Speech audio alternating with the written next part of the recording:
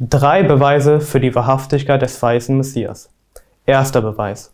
In einer Überlieferung des heiligen Propheten des Islam, Frieden und Segen Allah seien auf ihm, heißt es, dass es zwei Zeichen zur Unterstützung des Mahdi geben wird, die seit der Erschaffung der Himmel und der Erde noch nie aufgetreten sind. Diese beiden Zeichen seien demgemäß Sonnen- und Mondfinsternisse, die an sehr spezifischen Tagen während des Monats Ramadan auftreten würden. Im Jahre 1894, wenige Jahre nachdem Hazrat Mirza Ghulam Ahmed, Friede sei auf ihm, seinen Anspruch als Prophet und Messias verkündete, waren Indien und der Subkontinent Zeugen einer Finsternis, die am ersten der drei Tage des Vollmondes und im Ramadan aufgetreten waren. Im folgenden Jahr, 1895, hatte die USA eine Finsternis erlebt, die am zweiten der drei Tage des Vollmondes wieder im Ramadan aufgetreten war. Nun wissen wir natürlich, dass Finsternisse nichts sind, was von Menschen gemacht werden kann. Noch gibt es auf dem Planeten eine Technologie, die ein solches Spektakel erzeugen könnte. Das muss also das Werk Gottes gewesen sein.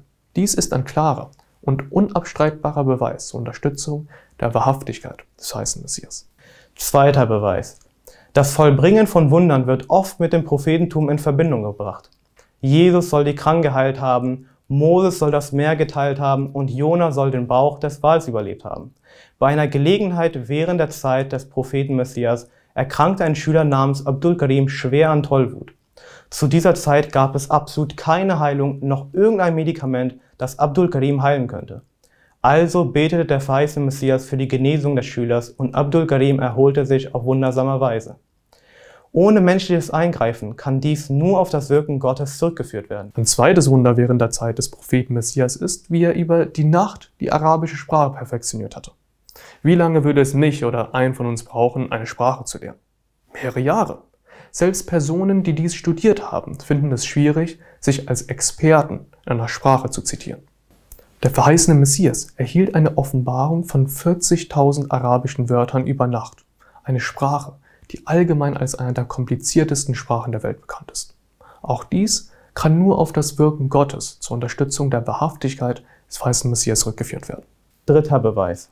Aus der Geschichte des Propheten können wir sehen, dass sie immer in ihren Ansprüchen und ihren Missionen siegreich waren. Ebenso war der verheißene Messias siegreich in seinen Ansprüchen und seinen Missionen.